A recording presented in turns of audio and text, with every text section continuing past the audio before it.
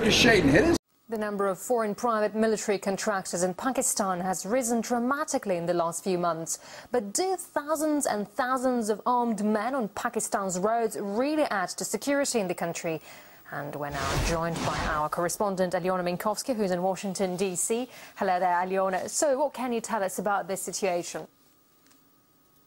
Thanks, Yulia. Well, that's the question that people are asking is, can they actually give more security in the country? Because at this point, these private military contractors are becoming better known for stirring up trouble than actually doing any good, especially if we look at examples from Iraq, because these private employees are not subject to the same rules that military personnel are. And allegedly, some of them that are getting contracts in Pakistan are for targeted assassination projects. But one of the questions that we really have to ask here is how far reaching is this war in Afghanistan becoming? A lot of people have already nicknamed it the AfPak War, and this information that we're discussing today makes that seem like more of a reality. And here here to talk about it with me is RT contributor and investigative journalist Wayne Matson. Wayne, thanks for joining me today. Now, first, I just want to get the record straight. How many private contractors are there already in Afghanistan at this point? You know? Well, they say there's actually more private contractors in Afghanistan. I'm than, sorry, I meant Pakistan. Oh, in Pakistan. Pakistan. Well, in Pakistan, of course, uh, there's a recruiting effort. Uh, I've been told by private military contract sources that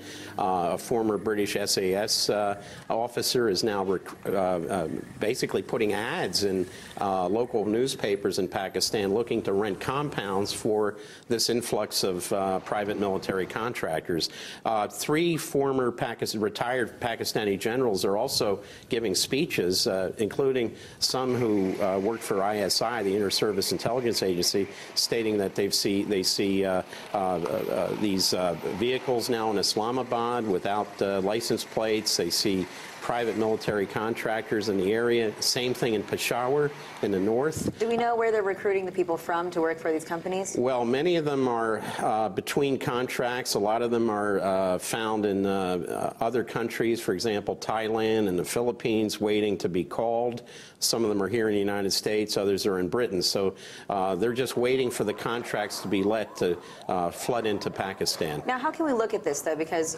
obviously at this point, the U.S. wouldn't send troops into into Pakistan, but is this an excuse of working around that by sending these private military contractors in instead? Obviously, it's to keep the non uniform people out of uh, Pakistan, but as we know, there's a very close connection uh, between uh, companies like was called Blackwater, now Z, and the CIA, so it looks like uh, they're just waiting for the green light to actually go in. Uh, some of them are already there, the advanced teams are already in Pakistan. So we can expect, are you saying, troops there possibly sometime in the future? future if they're already starting with these uh, contracts? Well, I, that's of course always a distinct possibility. Uh, some of these uh, private military contractors kind of are in the in the gray area. Some are actual military reservists who work for these companies full time. So uh, where you draw the line between the private contractors and the military reservists, that's a very fine line, very blurry line, in fact. Definitely. Well, thank you for joining us today, Wayne. And for now, we'll uh, throw it back over to you in Moscow. All right, Eliana, Eliana thank you very much indeed. Minkowski talking to Wayne Madsen. Uh, سہولت کے لیے ہم کچھ دیکھیے ذرا یہ جو گھر ہیں اسلام آباد میں uh, یہ بیریئرز بھی لگے ہوئے ہیں ان کے سامنے اور آپ دیکھیں کہ بڑی بڑی باب uh, وائرز بھی لگی ہوئی ہیں اور یہاں پر آپ کو نظر آئے گا اس گھر کے بالکل آپ کو ایک کیمرہ بھی نظر آ رہا ہے جو باہر گلی میں لگایا ہوا ہے جی اور یہ دیکھیے یہ کیمرہ بھی لگا ہوا ہے اور اس کیمرے کی پاکستان کا جھنڈا لگا ہوا تھا یہ اس کے پیچھے ایک سکول ہے میں پاکستان کا جھنڈا لگا ہوا ہے اچھا اسی طرح یہ دیکھیے یہ کالے شیشوں والی گاڑیاں اور اسلام آباد میں کالے اب یہ کتنا ڈینجرس ہے کہ اسکول کے ساتھ آپ نے ایسے لوگوں کو جگہ دیا یہ نئی دیواریں ہیں یہ دیواریں اونچی کی گئی ہیں اور یہ تقریباً دس سے بارہ فٹ تک یہ دیواریں ہیں یہ باب وائرز لگی ہوئی ہیں اور ہائی اور یہ ریزیڈنشل ایریا ہے اسلام آباد کی نہیں یہ ایف ایڈ کا علاقہ ہے اور وہ جو آپ اٹیلین ایمبیسی کا ذکر کر رہے ہیں وہ بھی ہم ابھی آپ کو اس کے بارے میں بھی پوچھتے ہیں یہ دیکھیں کہ یہ ان گھروں کے اندر اس قسم کے بڑے بڑے ایکوپمنٹ بھی رکھے گئے ہیں پہلے اور ان کی گارڈ پوسٹیں جو ہیں وہ باہر نہیں ان کے گارڈ پوسٹیں بھی اندر ہیں اور ایکوپمنٹس بھی نظر آ رہے ہیں اور اہم بات یہ ہے کہ ان گھروں میں کوئی رہائشی نہیں ہے کوئی رہتا نہیں یہاں پہ صرف رات کے وقت گاڑیاں آتی ہیں دیکھیں یہ گارڈ پوسٹ آپ دیکھیں کس قسم کی ہے انتہائی اونچی ایک گارڈ پوسٹ ہے اور یہ اس کے اوپر جو ہے وہ آپ دیکھیں بڑی بڑی سیٹلائٹس بھی لگی ہوئی ہیں یہ ساری جو سچویشن ہے یہ اس کی وجہ سے اسلام آباد میں جو شہری ہیں وہ بہت زیادہ تشویش کا شکار ہے جی، ظفر علی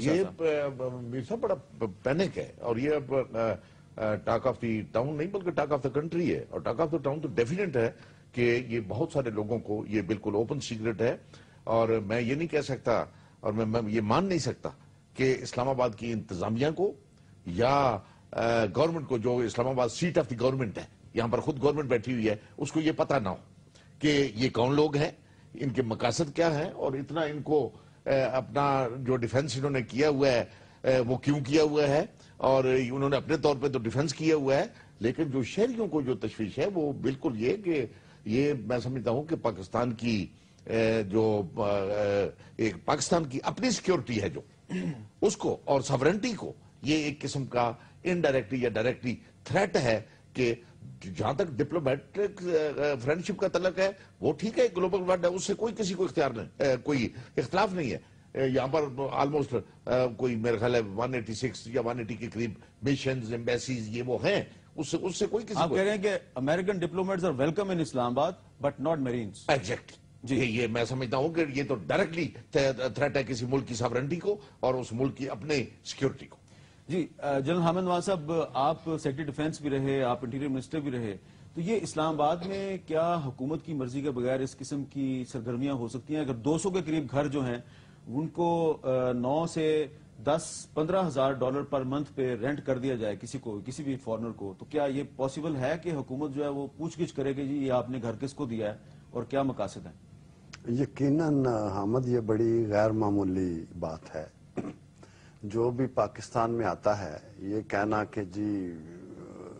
ہمارا فارن آفس کو اس کو پتا نہیں ہے جب ویزا آپ کسی کو دیتے ہیں اس کے پاسپورٹ پہ بھی پروفیشن لکھا ہوتا ہے آدمی کا کہ جی اس کا تعلق کس سے ہے ڈپلومیٹک کور کا ہے فوجی ہے مرین ہے یا کوئی بزنس مین ہے یا کیسے